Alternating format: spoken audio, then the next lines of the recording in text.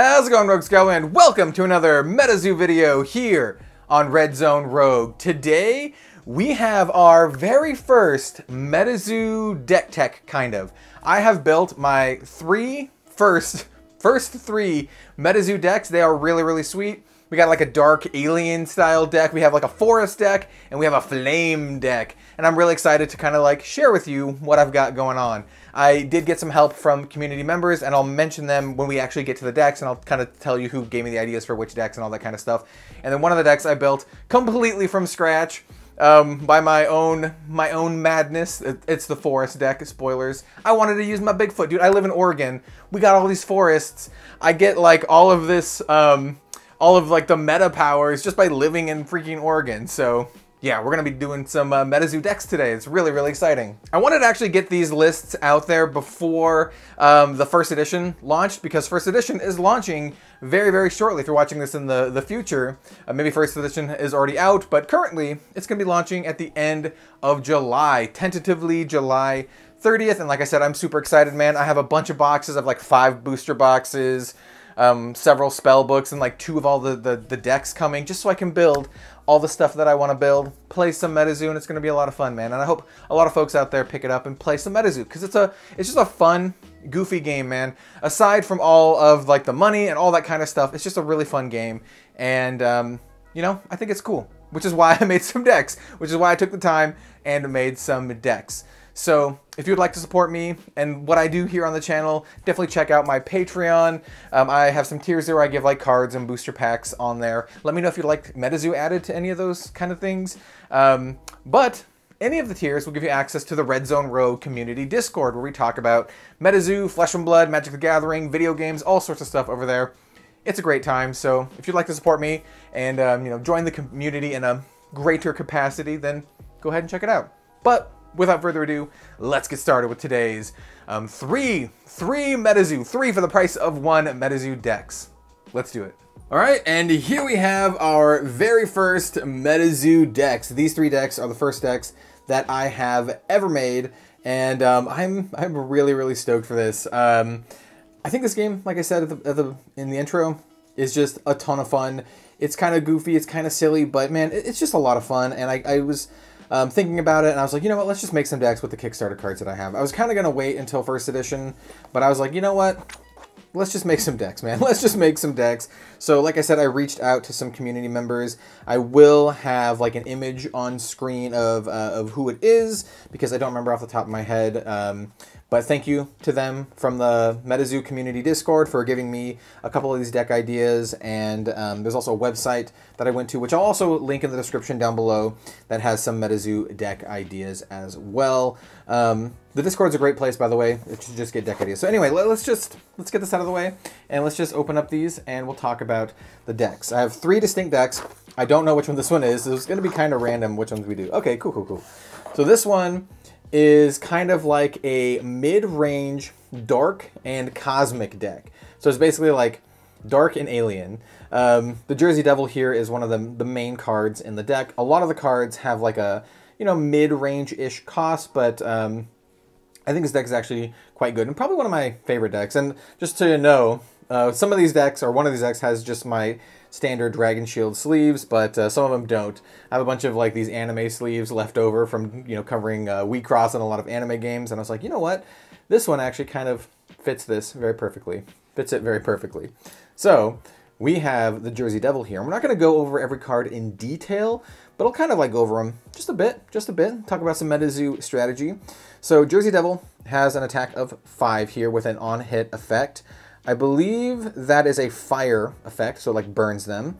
Um, it also has flying. And then this uh, scary face here means when you play it, you, I can't remember if you flip a coin or you roll a dice. Either way, you randomly, um, you choose an opposing beastie and then you determine randomly if it gets bounced back to their hand. It's, it's afraid, man. It, it's afraid. Also, if it's nighttime, it gets plus 25 attack. And if you're in a forest, it gets plus a 25 attack. So if it's nighttime and you're in a forest, it gets plus 50, so it gets up to um, 100. Also, when you play it, you, you take 50 damage unless you make a blood-curdling scream. Most of the time, just make a SpongeBob scream go, oh! I think that works. I think that works. It also says reduce all damage to Jersey Devil, or reduce all damage Jersey Devil would take from attacks from other beasties to zero. So um, he can only be destroyed by like effects and spells and stuff, which is pretty good, man. Jersey Devil's really good. Um, next up, I have Uncle Sam. This is a card that I put into um, a couple of these decks, partially because I have multiples and partially because it's just a really good card. Um, it's just a colorless card, costs five to play, um, has no kind of fourth wall effects here, but it does have one here. It says, this beastie enters the arena awakened and gains unblockable when contracted if there's an American flag with an eyesight. So it basically has haste, so it can attack immediately, and is unblockable if you have an American flag within eyesight. You can just whip out your phone, man. I don't know if you people want to rule this, how they want to rule it, but you just whip out your phone, just pull up an uh, American flag, and just set it on the battlefield when you play your Uncle Sam. It also has a Liberty Smash. Liberty Smash's damage is equal to 20 times the number of American citizen casters in this game. Well, most people I play against are American citizens, so it's going to be 40. It's pretty good, right? 40 unblockable with haste. That's pretty good. Next up, we have the Fresno Nightcrawlers. These cards are this card's are really sweet. So it's a two-cost card. Um, it has 50 attack, which is actually pretty good. Um, gets a plus 25 if you uh, it's nighttime. It also has um, haste basically, so it comes into play um, and, and, and, it can attack immediately. Basically, that's what it means. And then that little ghost symbol means, I'm pretty sure it means it can't be chosen as a target of an attack. It also says the beastie cannot be contracted if you are wearing pants. Luckily, I'm wearing shorts today because it's very, very hot. It also says when uh, Fresno Nightcrawlers enters the arena, you may reveal any number of non um, cosmic pages from your chapter, from your hand, um, and then shuffle them into your spellbook, your deck, uh, you may then bookmark, draw, an equal number of pages from the top of your spellbook. That's pretty good, right? So if you have just a bunch of like other cards, a bunch of like dark cards in your hand, you can just put them in your spellbook and draw cards equaled up. It's pretty sweet. And also has a tech, tech of 50. Um, yeah, we're running two of these because you can only have two in your deck. But we, we like the Nightcrawlers. We like the Nightcrawlers. Next up is Killer Clown. So this was in a list that I, I took it from the list, and I'm not actually sure why it was in that list um, when I actually like read the card. I just put it in here anyway. I will probably be taking this out and putting in another card. So it's a one cost card with 40 attack. Um, it's a beastie humanoid killer clown. Um, it says balloon pop. Balloon pop gains plus 10 damage for each inflated balloon in the room. I guess if you just got a lot of balloons, you can do a lot of damage. It says during your turn, you may fatigue this beastie and place it in limbo to select another beastie from your limbo with total aura cost equal to or less than this beastie's total aura cost and put it into the arena. It only has an aura cost of one, so it really can't get back, back much in this deck. And the list that I looked had one of these, and I am not sure why. I'm probably going to cut this for another card. We'll set that aside. I'll show you what I'm going to cut that for. Next up, we have Bunny Man. This is a two-cost card, 50 health, has a 20 attack, but that is boosted by an additional 20 if you're within one mile of a human-made tunnel, and I think I am actually. Um, it also has a 25 additional attack if it's nighttime, and it has the trap mechanic, which you can play it face down and then turn it up later for its cost. And it says, destroy this BC and place it in limbo to select another BC in limbo with blah blah blah. It's the same thing, same effect as Killer Clown, right? Except the Bunny Man can at least get back some other stuff. Um, so we'll, we'll talk about that. We'll talk about that. We are running four Bunny Men four out of our five possible Bunnyman. So it's actually not too bad. It can attack for 40 plus another 25, so it can attack for 65 with only a cost of two. That's pretty good, man. That's pretty good. And then it has an ability to get other cards back, like our Space Penguins. So Space, Space Penguins, it's a two-cost card. It has a 10 attack, which is not great. It also has flying, which is pretty good. And it says, when Space Penguins enters the arena, target caster must reveal a cosmic beastie in their hand or is dealt 50 damage. This is super good. It just, hey, take some 50 damage. So we are running two of the space penguins. Also, they look like alien hominids. They look like alien hominids. Next up, we have Moon-Eyed People. And this is the card that I'm probably just going to add another one in. Take out this Killer Clown, put in another Moon-Eyed People. So this is a one-cost card, has 20 life, which is pretty low. Um, does an additional 50 damage if there's stars out, and another 25 if it's nighttime. Um, and it says, this beastie can only be contracted if it is not a new moon tonight. It says, during your turn, you may fatigue moon-eyed people and place it in the afterlife. To look at the top seven cards of your deck, take one of them, you know, draw one, uh, and then shuffle your deck. This is pretty good. This is a really good card. It kind of like sacrifices itself to get us some card draw, maybe draw up our Jersey Devil. Um, I think it's just really good in general. It also has Moonbeam, and it says, if an opposing page in combat is a beastie humanoid, it gains additional 10 damage. So, eh, that's okay. That's all right. Um, we are running two Moon-Eyed people. Like I said, I'm probably going to take out uh, this, this clown and put in another Moon-Eyed people. Because I think it's good. Next up, we have the Enfield Monster. This is one of the higher cost cards in the deck. It costs four to play. Three Cosmic and one of any. Has 75 health, which is pretty good. It has Toe Gouge, which is a 40 attack, but it does dark damage, which is interesting.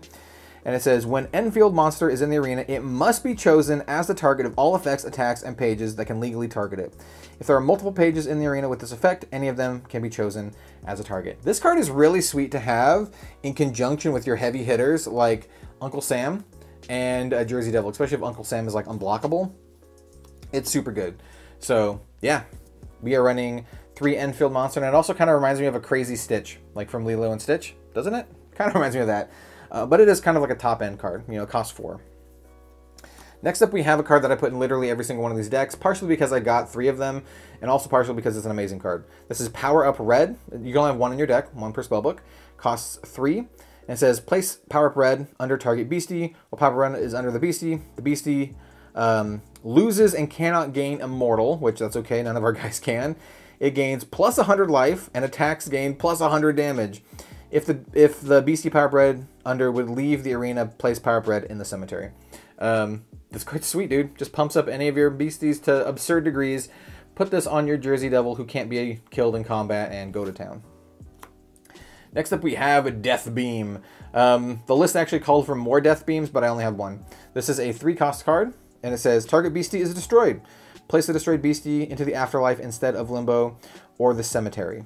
After resolving this page, you can no longer contract uh, light pages for the rest of the game. That's cool. We're not going to be doing that. We're just going to be death beaming them. If I had more, I would run it. Next up, we have Spellbook. One cost, draw two cards. Amazing. You put two of these in every single deck. Two per deck, put them in your decks. Next up is Broom. Broom is a one cost card.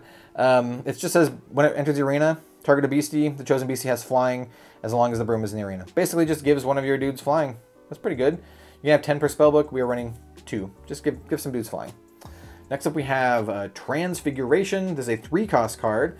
Pretty good card. It says target beastie loses target beastie loses all text, traits, and fourth wall symbols, recovers its maximum life point, and becomes a neutral beastie sheep with 10 max life points and 10 damage until the end of their next caster's turn. So this card's just a good way of killing off something, right? You can just make it small and just kill it. We are uh, running three of these. Next up, we have some proton beams. This is a two-cost card, Cosmic and one of any. And it just says deal 25 damage to target beastie. If the chosen beastie is a ghost or dark, you may deal another 25 damage to another target beastie. You may target the same target as before. So that's pretty good, right? Um, you can actually transfigure, turn it into like a sheep, and then blow it up. And then blow it up. We are running three of these. We also are running two night times because we have so many beasties that benefit for you know it being nighttime. And then we just have our resource cards. We have your uh, your kind of like your Moxen, your Black Hole Shard. You have two per spellbook, but I only own one, so we have one. Uh, Blood Ruby, same deal, but dark. I only have one, so we have one. And then we have some Cosmic Aura, and then some Dark Aura, and that's the deck. Really, really interesting to note. The Brilliant Aura, Cosmic Auras, you can tell by the star down here, doesn't have the symbol up here, but the Kickstarter ones do. But that's not consistent because this one's a Brilliant Aura one. Dark Aura has the symbol, and the Kickstarter one also has the symbol. So, yeah, I think they just messed up on this one. But that's kind of a cool little, cool little misprint. Um, so yeah, that was my alien, my dark alien deck. I kind of want to put Mothman in this, try with Mothman, because I do have a Mothman and some Chibi Mothman. But um, yeah, Jersey Devil's really good. Jersey Devil's really good. All right, next, next deck. Okay, so this is the one that I made myself. I made this one from scratch, um, and I think this deck is really cool. This is a um, forest deck, basically. We're, we're rocking the forest. I live in Oregon. I really wanted to make a forest deck, you know, featuring Bigfoot here, and Bigfoot's really good, dude. And, you know, by, by virtue of living in Oregon, next, I'm to zoom in a little bit.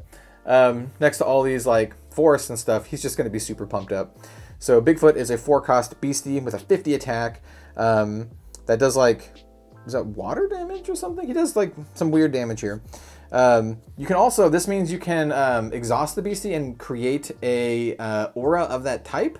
So you can kind of like basically tap for mana. Um, he has a plus 25 attack if you are within a mile of a forest, and I definitely am. And it says, if you're within five miles of a forest, dude, I'm like within closer than that.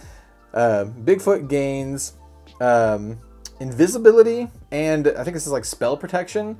So basically, it means he cannot be he cannot be defended against. He can't, cannot be targeted for spells. He cannot be targeted for attacks. Like he's just insane. He's just you know takes 75 damage a turn because you can't block him and you can't target him. It also has a power, King of the Apes, fatigue or awaken one target beastie Sasquatch. Well, this is the only Sasquatch in our deck, but he's super good. He's super good. Um, now we have the actual theme of the deck. I just had Bigfoot in here because Bigfoot's just super good. Um, you have Hodag. So Hodag is a beastie fearsome critter, and that's kind of like the theme of this deck.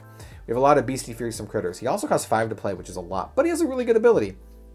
So he also heals one damage a turn, or 10 life points a turn, which is really sweet. And uh, he says, Power, Great Mimicry.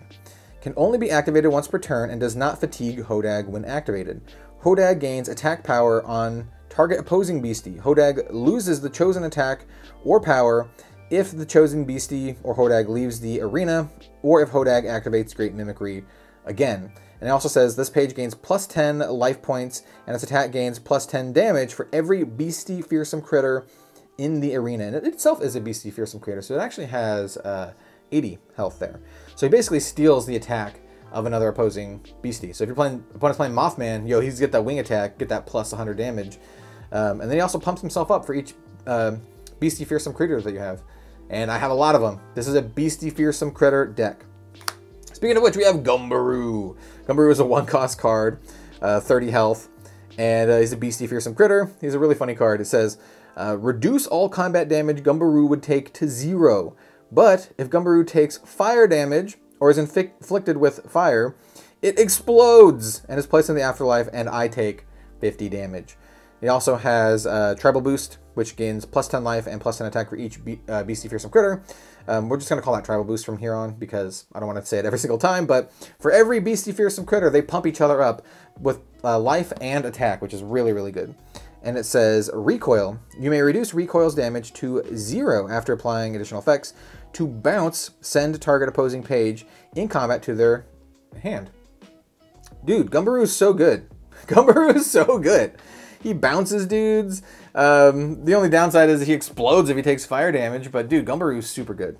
Um, we can have five Gumberoo. We are running four, possibly because I only own four Gumberoo. If I had five Gumberoo, I'd put another Gumberoo in.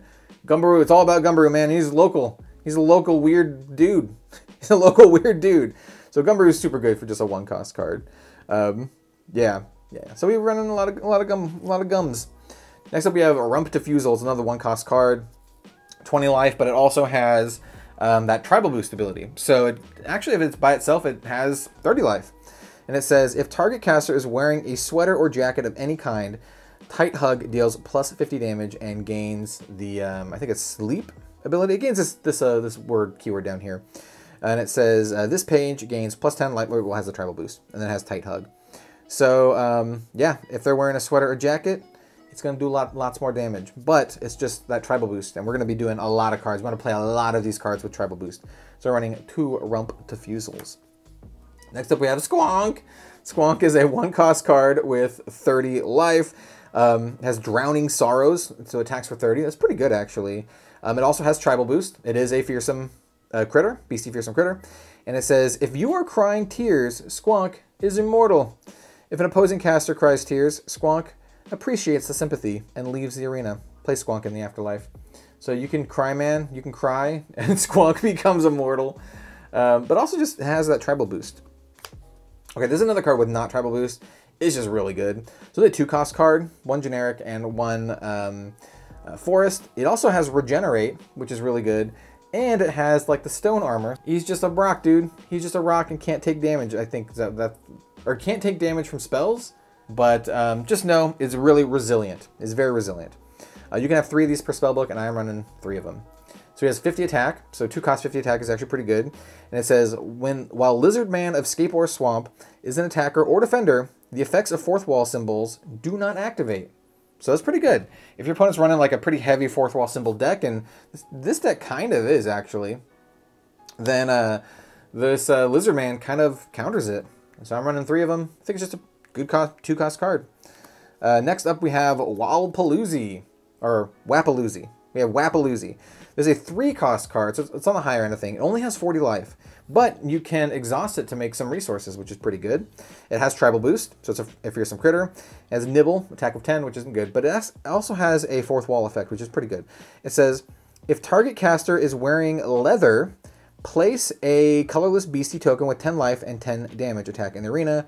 Um, the beastie token can be named whatever you wish, and its name can trigger fourth wall effects. So, like if someone's running Paul or running uh, Babe the Blue Ox, you can name it Paul Bunyan, that kind of stuff. But it's mostly just a beastie fearsome critter that makes another makes another dude. So we're just running one of him because the the two costs there is a, is a lot. Next up, we have Hoop Snake. Hoop Snake is another card that costs kind of a lot. Costs three to play, though it can generate resources and it does heal every single turn, which is pretty good. Um, it also has a rollout attack for 10, and it has tribal boost. It is a, fearsome critter. And it says when your opponent contracts a spell that targets any of your pages, you may place a hoop snake in the cemetery and roll a dice. If the roll is equal to or greater than the aura cost of the contracted spell, you may choose a new target for the spell. That's so good. Hoop snake is super good. Um, we're only running two of them because it kind of costs a lot to play, but I really like hoop snake. Maybe I should put more hoop snakes in the deck. You can have four. I'm running two. Next up, we have Joint Snake. We've got some snakes here. Uh, I really like Joint Snake as well. So it's a beastie fearsome critter. Um, it has poison, which is pretty good, and also can rest to or exhaust to make resources. Um, it has nibble. It's a beastie fearsome critter, but it does not have the tribal boost, right? Has nibble. It says Fang Strike gains plus damage for every snake counter on this page. And it's kind of a complicated card, but, it, but it's pretty simple. Complicated when you look at the page. Um, simple when you actually know what it does. So when you contract this beastie, choose an effect. Joint Snake enters the arena with X snake counters on it, where X is the number of forest used to contract it. This beastie's maximum life points is equal to 10 times the number of snake counters on it. Or you can place X forest beastie tokens with 5 life and 5 damage attacking the arena where X is equal to the number of forest used to contract this page. Place Joint Snake in limbo. So you can either make one big snake or a bunch of small snakes. I like making one big snake because it when it makes the tokens, it doesn't make beastie fearsome critters, it just makes a beastie. If it made, made beastie fearsome critters, it would be amazing because then you would synergize with all of the tribal boost stuff. But just making a giant massive snake is pretty good. Pretty good. We're running three of these because they're just good and they, they scale really, really well and you can rest them for uh, resources. So it's great. Next up, we have one of the best cards in the deck, Growth. A two cost card. Uh, spell. If there's a plant within arm's reach, you'll bring a plant along with you.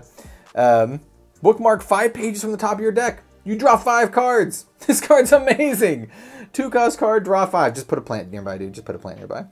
Next up, we have bookmarks. Like I said, put these in all of your decks. We have Thorned Whip, our kind of damaging spell for the deck. Just costs one. It's a trap, and when it's flipped face up, deal 25 damage to a beastie or artifact. Pretty simple, right? We're running four of them. Next up, we have another Power Up Red. Like I said, I put this in every single deck because it's just so good. Uh, now we have Power Up Green. No Power Up Red, no Power Up Green. Power Up Green costs two to play, generic and forest, and it says target beastie gains plus 25 life and attacks gain plus 25 damage, and it's got the swirly ability until end of turn. So we are running four of these, which is pretty good. You know, pump up a dude, do some damage. We, this is this is kind of like an aggro deck, right? And then the last non-resource card we have, I believe, yep, is uh, Sam's Four Leaf Clover, kind of just for Hoop Snake, but not really. It costs two to play, and it says when the Four Leaf Clover enters the arena, place four leaf counters on it. You may fatigue the Four Leaf Clover and remove a leaf counter um, at any time, even if it's not your turn, to choose the result of a coin flip or a dice. When uh, Sam's Four Leaf Clover has no leaf counters on it, place it in the afterlife. You, you just, you get to choose. Like, you don't re-roll or reflip. You just choose what it is. That's amazing. That's so good. And it's not just for you. It just says the result of the next uh, coin flip or dice roll. I only put one on the deck because it's not really a proactive card, but It does synergize with our um, Hoop Snake, and it can also kind of screw over your opponent's stuff too, which is really good. Uh, and next up, we just have our resources. We have the Forest Gods Amber, which is like the, the green Mox. I do have two of them, so I'm running both of them, and then we're just running all the Forest Auras. And that's that. That's this deck. It's kind of like a, a synergy deck. It's your beastie, your fearsome beastie um, deck, and uh, I like it. I like it a lot. Also, it lets me play Bigfoot. It'd be cool to make like a full-on Sasquatch deck, but I don't think there's enough support right now for that. Um, let's get these on screen, man. Let's get these on screen. And the final deck is probably your most simple deck possible, right? Um, and oh yeah, this deck by the way was just in some Dragon Shields. This one is in, um, like I said, I had a bunch of extra anime sleeves, so it's actually in some Shadowverse sleeves. And I think it fits the theme of the deck. We got some fire going on here, and that's what this deck is. This is a aggro fire burn deck, where the, the forest deck was about playing a bunch of beasties. This is about playing a bunch of quick beasties and also just burning your opponent out. So first up we have Piasa Bird. A three cost card. This card's sweet, one of my favorite cards in the whole game, by the way, both in artwork and just kind of in flavor. Three cost card, it has flying. It gains plus 50 if you're in a desert. I am not. It has Magma Blast, which it does like forest kind of damage, and also causes a burn, which is interesting. Um, because um, I guess he's maybe found near forest or something. I don't know. But it does 75 damage, which is pretty good. The 3 cost 75 damage is actually quite good. And it says, if there is a fire within eyesight, Piasa Bird's attacks gain plus 50 damage. If you are in a desert and there's a fire, his attacks deal 175, which is gross. And then while Piasa Bird is in the arena, all fire spells cost one less to play. That's super good. Next up, we have Uncle Sam. This is the other deck that I put Uncle Sam in because he's just basically unblockable and he has haste and it's pretty good. So we put him in there. Okay, so here we go. We got some of the, the meat and potatoes of this deck. We got Giant Salamander. This is a one cost card with 50 health. If you're within uh, a mile of a forest, it gains plus 50, which I am, so that's pretty good. Uh, 25 attack here. And he has a uh, ability. It says Charred Trunk. Charred Trunk gains plus 25 damage if there is a felled tree within eyesight, or if a forest beastie was placed into limbo, the cemetery, or the afterlife within the last two turns. So, kind of kind of counters the uh, the forest deck a little bit. Um, so yeah, that's that's pretty good. It's pretty good. You can have five in your deck. We are running all five of the giant salamanders. It's just a one cost card with just good attack. Next up we have Lava Bear. Shout out to Temple of the Lava Bears, one of my favorite D&D sessions. This is a one cost card with 30 health. Um, it does plus 25 damage if you are on an island, which I'm not. It says Volcanic Spurt. If you are playing near a volcano, which I, oh, actually, I don't know. I should probably look it up. Oh, wait. Where's Mount St. Helens? How far is Mount St. Helens away from here?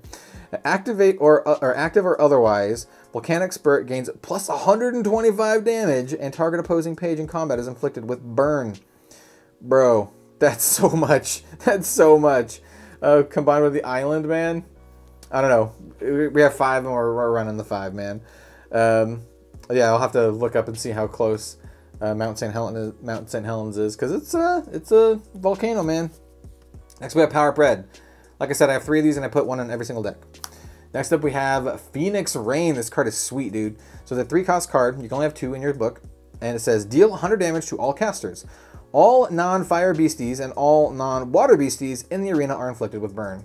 Well, guess what? All of our dudes are fire except for Uncle Sam. You're gonna light your Uncle Sam on fire, but you're gonna light everyone else on fire too. Next up, we have a bookmark. Once again, just put bookmark on all your decks because it's so good. We have Fireball. So is a one cost card. Target beastie artifact or caster is dealt 25 damage and inflicted with fire. You can have 10 in your spell book. I actually only have four, so I'm running all four that I own. Next up is Dragon's Breath. This is a three cost card. It says choose an effect. Deal 100 damage to target caster or pay an additional 3 fire to place all Terra pages into the afterlife. Regardless of the chosen effect, Dragon's Breath deals 50 damage to you.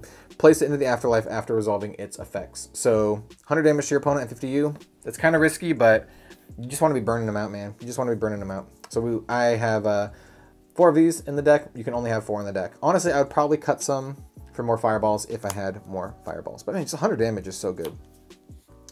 Next up, we have Lightning in a Bottle. This is a card that I think is just a straight up staple for MetaZoo. It's a zero cost card. It's technically a lightning card, but it costs zero, so you don't need any resources to play it. Um, you can have five in your spell book. I'm playing all the ones that I own, so all four of the ones that I own. And it says Awaken Target Beastie, and this Beastie gains first strike until end of turn. So it basically just gives your dude haste, which is insane, which is really good. So you just want to play your dudes, give them haste, and smash in, and then burn them out. That's that's what this deck wants to do. So we're running uh, four of these lightning in a bottle. Then after that, we just have our resources. I have two of the fire, like Moxen. Um, you know, these cost zero. You can fatigue it to generate two resources. So running both of the ones that I have, because you can only have two. And then just a bunch of Flame Auras. And that's that for my first three MetaZoo decks. I think my favorite deck out of all of these is probably the Dark Alien deck because I mean that's that's my jam, man. Like the spookiness and all that kind of stuff.